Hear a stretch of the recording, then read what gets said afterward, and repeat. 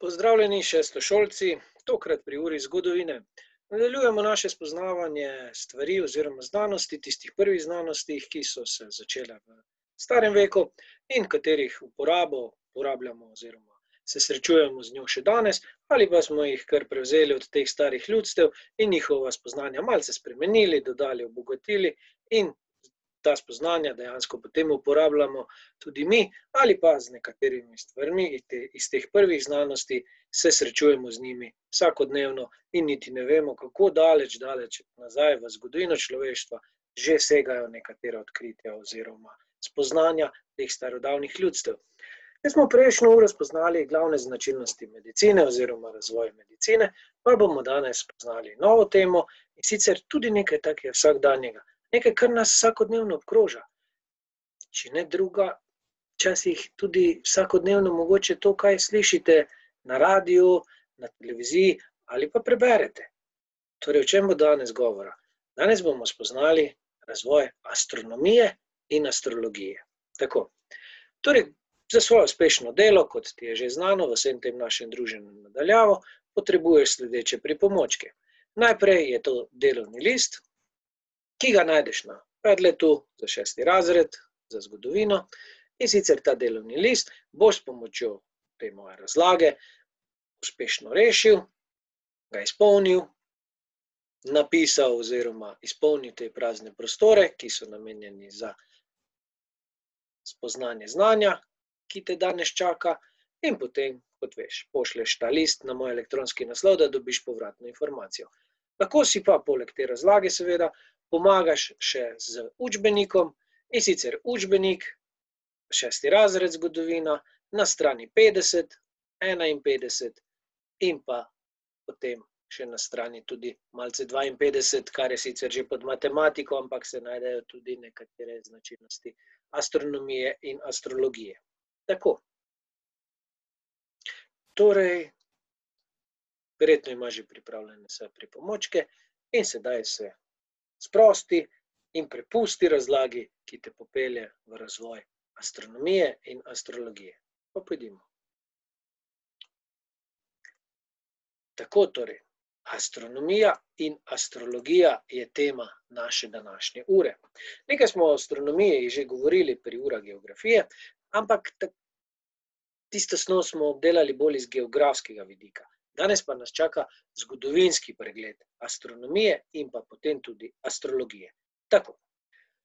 Torej, ljudje so že od nekdaj z zanimanjem zrli v nebo, oziroma vedno so bili prepričani, da nebesna telesa, ki jih obkrožajo tako po dnevi, še posebej pa po noči, vplivajo na življenje ljudi.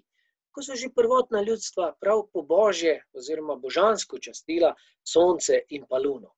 No, in počasi jih je iz tega zanimanja, iz te radovednosti, veljalo vedno dlje, vedno dlje, vedno so si želeli novih odkritij, novih spoznanj.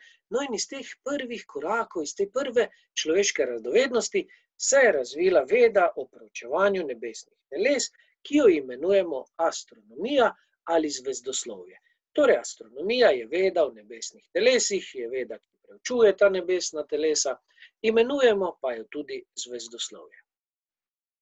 Pa si pogledamo, kaj, kaj vse so odkrila, oziroma kakšna dognanja so na podlagi opazovanj teh nebesnih teles prišla, oziroma ugotovila prvotna, najstarejša ljudstva. Pojdimo najprej v Mezopotamijo, k ljudstvu Babilonci. In sicer Babilonci so s pomočjo opazovanja neba izračunali dolžino leta, pri čemer so se zmotili le za štiri minute. Torej, Babilonci so izračunali, da je leto dolgo 365 dni in nekaj ur, ampak glede na naše današnje izračune, so se zmotili le za 4 minute. Naredili so tudi prvi koledar, ki se je uravnaval oziroma so ga uskladili z gibanjem lune. Teden, svoj teden so razdelili, tako kot mi, na sedem dni. Naslednji, ki so veliko prispevali k razvoju astronomije, so bili Egipčani. Egipčani so tudi s pomočjo opazovanja nebesnih teles natančno vedeli, kdaj bo njihova glavna reka, torej reka Nil, poplavljala in kdaj je na podlagi teh napovedanih poplav potrebno saditi pridelke. Ker ti moramo vedeti, Egipt je dejansko puščava. In zaradi reke Nil, ki jim omogoča namakanje, se ta ozek pas puščave ob reki Nil spremeni v eno najbolj rodovitnih žitnic na svetu. Zato je res bilo nujno potrebno natančno vedeti, kdaj pridejo poplave, kdaj je treba pripraviti vse potrebno za uspešno posaditev pol, da bo tudi potem žetev dobra, kajti to jim je omogočalo preživetje. Da so se pa pravočasno res pripravili na poplave, da so uredili pravi čas vse potrebno za obdelavo pol in pridelavo pridelkov, pa so naredili sončev koledar in sicer njihov koledar je štev 365 dni. Zelo natančno, dejansko enako kot naš koledar. S to razliko, da pač niso znali dodati še tistih par ur in se je ta njihov koledar kasneje malce spreminjal. No, potem tudi ljudstvo v Srednji Ameriki, torej indijansko ljudstvo Majev oziroma Maji na območju Srednje Amerike, na območju današnje Mehike, če tako prikažemo, tudi oni so bili zelo dobri astronomi. In sicer njihov koledar, ki ga lahko vidiš na tem levem delu diapozitiva, je imel 20 mesecev. Vsak njihov mesec pa je imel le 13 dni. Torej, tudi Indijanci v Srednji Ameriki so postavili svoj koledar, ampak za razliko od našega, ki ima 12 mesecev, je njihov mesec imel, je njihovo leto imelo 20 mesecev, vendar to so bili meseci, ki so imeli samo 13 dni. Izračunali so, da ima leto 365,242 dni, kar je, če pre, pre, prenaredimo v naš današnji izračun, je sicer to zelo podobna ugotovitev našemu času in sicer so se zmotili le za tri minute. Torej, ljudstva, nekdanja ljudstva iz starega veka, so bila zelo blizu natančnemu trajanju leta, zmotili so se le za tri, oziroma pri Babiloncih za štiri minute. Tako da so bili izredni mojstri opazovanja nebesnih teles in pa izračunavanja časa. No, še večji korak naprej pa so storili Grki. Grki so bili, tako kot pri astronomiji, pri medicini, so bili tudi pri astronomiji zelo natančni, predvsem pri opazovanju nekih stvari, in vedno so poskušali odkriti vzroke za katerikoli pojav na nebesnih zvodih, oziroma tudi pri medicini, kot smo prejšnjo uro obravnavali. Grki so vedno izhajali iz vzrokov. Zakaj? Zakaj je to tako? Zakaj ni drugače? Kaj so še njihove odkritja? Sklepali so, da je Zemlja okrogla, in da se sonce vrti okoli nje. Torej, Grki so bili zelo, zelo napredni, ampak vseeno so imeli malce drugačne predstave, oziroma drugačne ugotovitve, kot to veljajo danes. In sicer res, da so sklepali, da je Zemlja okrogla, ampak kasneje se je to hitro pozabilo, kajti ljudem takrat je bilo težko si predstavljati, da bi bila Zemlja okrogla. Verjeli so, da pademo iz Zemlje. Niso poznali vseh zakonitosti, kot jih mi to poznamo danes. Zato so kljub ugotovitvam Grkom verjeli, da je Zemlja ravno ploska. Grki so obveljavili svojo teorijo, da je Zemlja torej okrogla, ampak z napačno predstavo, da se Sonce vrti okoli Zemlje. Kar pa smo danes ugotovili, da je obratno, da se Zemlja vrti okoli Sonca. Najbolj znani grški astronomi so bili Aristarh in še posebej je potrebno izpostaviti Ptolomeja. Ptolomej je bil grški astronom, ki je trdil, da je Sonce središče vesolja. Ptolomej je imel prav, vendar ni uspel uveljaviti to svojo trditev, tako da je vse do novega veka, ko so res znanstveniki potrdili, da je Sonce središče vesolja, No, vse do takrat pa je veljala trditev, da je Zemlja v središču vesolja, za razliko od današnje. Zelo pomemben je bil tudi grški astronom Eratosten, ki je izračunal obseg Zemlje. Kako blizu je bil natančnemu obsegu Zemlje, pa bomo spoznali malce kasneje. No in katera so bila tista najbolj napredna spoznanja starega veka, si poglejmo sedaj v tem delu naše predstavitve. In sicer že prej omenjeni astronom Aristarh je ugotovil, da je Sonce vsaj 300 krat večje od Zemlje, ter da Zemlja kroži okoli Sonca in ne obratno. Takrat so znanstveniki, ki so živeli v tistem času, ta njegova ugotovitve oziroma trditve zavrnili. Imel pa je zelo prav, vendar čas je pokazal potem, da je imel prav šele precej, precej kasneje. Druga pomembna ugotovitev je tista Ptolomejeva ugotovitev, in sicer, da je postavil Zemljo v središče sončnega sistema, kar je obveljalo vse do novega veka. Torej, sicer njegova napačna trditev, ampak vseeno pomembna pa je ta ugotovitev njegova, da se vrti ta naš sončni sistem, ne? da planeti krožijo, da nismo pri miru in da nismo ravno ploske. Naslednja trditev, pomembna trditev v času starega veka, je spet ena trditev in sicer grškega Eratostena, ki je, kot sem že prej omenil, izračunal obseg Zemlje. Izračunal je, da je obseg Zemlje 39.630 km. Pri tem pa se je zmotil samo za en procent, torej za izredno malo, lahko govorimo v par desetinah metrov, je samo njegov izračun na vzkriž z današnjim izračunom, ko smo vsemi našimi pripomočki in napravami ugotovili, da obseg Zemlje znaša 40 tisoč km. Tako da Eratosten je bil zelo, zelo blizu izračunu, natančnemu izračunu obsega Zemlje. Samo za en procent je ta njegov izračun napačen. No, potem pa je prišel novi vek, v novem veku pa se je pogled na astronomijo oziroma vesolje popolnoma spremenil. Znanstveniki, kot so Nikolaj Kopernik, je za ceno svoje, svojega življenja, svoje varnosti, ugotovil in trdil, da je v središču vesolja Sonce in ne Zemlja, kot so prej trdili. In da se Zemlja in seveda ostali planeti vrtijo okoli Sonca.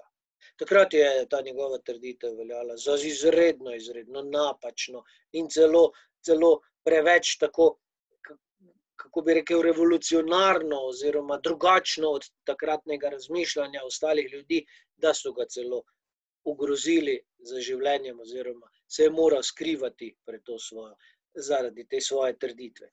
Drugi pomemben znanstvenik iz novega veka pa je Galileo Galilej, ki ga vidiš tukaj na tej strani predstavitve. No, poleg vseh njegovih ugotovitev na področju fizike, matematike in pa astronomije, je pomemben tudi, ker je izumil eno napravo, ki nam je olajšala raziskovanje vesolja. Torej, Galileo Galilej velja za izumitelja teleskopa. O tem bomo sicer govorili še malce kasneje. In sicer, kako so opazovali nebo? Najprej, seveda, prvotna ljudstva, vsa tista, ki smo jih omenili, so opazovala nebo s prostim očesom. Mezopotami so postavljali, kot si že izvedel v urah geografije, posebna, posebne stavbe, ki so poleg verskih zadev, seveda, jih uporabljali tudi za opazovanje vesolja. To so bili zigurati. Zigurati so bili posebni templji. Ampak nekatera ljudstva pa so postavljala samo stavbe, namenjene izključno opazovanju nebesnih teles. Tem stavbam rečemo, oziroma se imenujejo observatoriji. Najbolj znani, oziroma najstarejši observatoriji na svetu so recimo v Angliji, to je znameniti Stonehenge, potem najdemo pa jih tudi v Egiptu in pa v Nemčiji. Veliki mojstri odkrivanja nebesnih teles oziroma preučevanja vesolja so pa bili Arabci. Arabci so predvsem v srednjem veku zgradili veliko teh observatorijev oziroma opazovalnic vesolja. Izpopolnili so tudi številne pripomočke, ki so jih uporabljali za opazovanje neba. Izumili oziroma iznašli pa so tudi pripomočke, ki so jim omogočali določanje razdalj, kar je bilo pomembno, ne samo za raziskovanje vesolja, ampak potem so te pripomočke malce spremenili in jih uporabljali tudi pri odkrivanju novih celin na našem planetu, na Zemlji, kajti preko njih so potem lažje računali razdalje in načrtovali dolge poti na druge celine, če gledamo iz Evrope, seveda. Potem dalje določili so tudi gibanje Zemlje okoli Sonca. To so bili Arabci. Najbolj pa se je znanje o vesolju spremenilo oziroma je doživelo velik korak naprej, ko so odkrili napravo, ki nam je izredno, izredno približala neke opazovane planete ali zvezdne telesa v vesolju, tako da smo jih res lahko bliže spoznali. Ta naprava je pa teleskop. Teleskop so uporabljali že nekje v 11. stoletju, smo našli zabeležke, da so ga že na območju Irana uporabljali teleskop oziroma teleskopu podobne naprave. No, za očeta teleskopa oziroma izumitelja pa velja prej omenjeni Galilejo Galilej, kajti on ga je najprej uporabil za znanstvene namene in na podlagi tega so potem v Evropi začeli odkrivati številna nova odkritja iz področja astronomije. In z tem odkritjem teleskopa, kot smo že omenili, je se, lahko rečemo, je teleskop začetek znanstvenega raziskovanja vesolja. Kaj ti tisto opazovanje na podlagi prostega očesa ni bilo tako zanesljivo. Vseeno je teleskop tista pomembna naprava, ki nam je odkril ogromno novega glede vesolja oziroma nebesnih teles. No, potem pa je seveda ta astronomija zanimala ljudi tudi iz drugega vidika. Nekako, kot smo že na začetku povedali, je to zanimanje za nebesna telesa bilo vedno povezano z nekim, nekim vraževerjem. Ne? Recimo, nekatera ljudstva so čudne nebesne pojave, kot so lunini ali sončni mrki, nekateri celo trinke ali kaj podobnega, so vedno povezovali z nekimi nenavadnimi dogodki, z nekimi pomembnimi dogodki, ali pa so se jih bali in so ponavadi nekaj take dogodke v, na nebu takoj povezali z nečim slabim in hitro so našli krivca v nekaterih drugih ljudstvih ali pa v kakšnih kaznih, ki prihajajo iz vesolja. Ampak po drugi strani pa so nekako začeli predvidevati tudi iz nebesnih teles, so počasi začeli razmišljati, da bi si lahko napovedali prihodnost. No, in to napovedovanje prihodnosti s pomočjo nebesnih teles je začela preučevati, oziroma s tem se ukvarja veda, imenovana astrologija. In astrologija bi naj bila veda, ki bi s pomočjo položaja nebesnih teles, gibanja teh nebesnih teles, človeku lahko predvidela prihodnost. Najbolj znan izdelek, ki se tako dovolim reči, oziroma produkt astrologije, je horoskop če ne drugače, horoskop uporabljaš, da veš, glede na datum tvojega rojstva, v katero znamenje od 12 uveljavljenih znamen horoskopu pa spadaš. Tako, torej, astrologija je tista, s katero bomo zaključili naše potovanje po astronomiji. Z moje strani bi to bilo vse. Dobro, še enkrat poslušaj, preglej ta posnetek in seveda reši delovni list. In kot sem že dejal, ko rešiš delovni list, pošlji fotografijo na moj elektronski naslov in dobiš povratno informacijo. Hvala za pozornost. Adijo.